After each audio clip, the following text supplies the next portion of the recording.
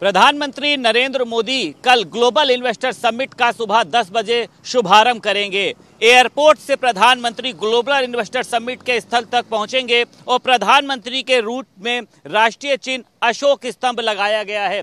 मेरे पीछे आप देख सकते हैं, ये ग्लोबल इन्वेस्टर समिट का वो चौराहा है, जिस चौराहे से प्रधानमंत्री गुजरेंगे और उसके बाद वो सीधे आप देख सकते हैं कि जो गेट दिखाई दे रहा है, ये ग्लोबल इन्वेस्टर समिट का वो गेट है और इसके पास में ही इंट्री गेट बनाया गया है। यानी यहीं से प्रधानमंत्री नरेंद्र मोदी आयोजन स्थल तक पहुँचेंगे और वहाँ पर इस कार्यक्रम का शुभारंभ करेंगे। जिस तरीके से राष्ट्रीय चिन्ह को लेकर लगातार बात करी जा रही है, ऐसे में कहीं ना कहीं से इसको लगाने का उद्देश्य ये है कि जो विदेशी निवेशक भी यहाँ पर पहुँचेंगे, वो आकर्षित हो सकें और उसी के साथ साथ ये भी बताया गया है कि पीएम मोदी के आगमन वाले स्थानों पर गौतम बुद्ध की प्रतिमा और उसी के साथ साथ अशोक स्तंभ को भी लगाया गया है।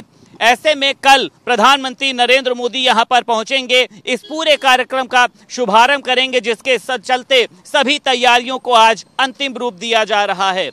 लखनऊ से वीडियो जर्नलिस्ट अरविंद के साथ संदीप खेर, भारत समाचार।